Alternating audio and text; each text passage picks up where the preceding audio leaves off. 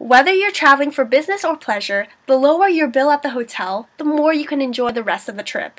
Discounts matter and it's easy. Did you know that you can actually just? Next time you're at the hotel front counter, check if any discounts apply to you. You might be pleasantly surprised. And if you book online, watch for that place to put your hotel discount code. If you don't spend all your money on the room, that leaves more for you to spend on necessities.